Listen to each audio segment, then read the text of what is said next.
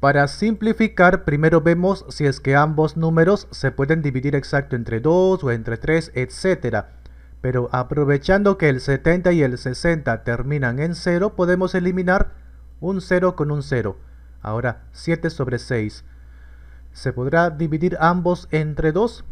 6 sí, pero 7 no, ¿verdad? Es más, el 6 únicamente se puede dividir entre 2 y entre 3 nada más solo entre ellos y como 7 no se puede dividir exacto ni entre 2 ni entre 3 tampoco, significa que ahí queda.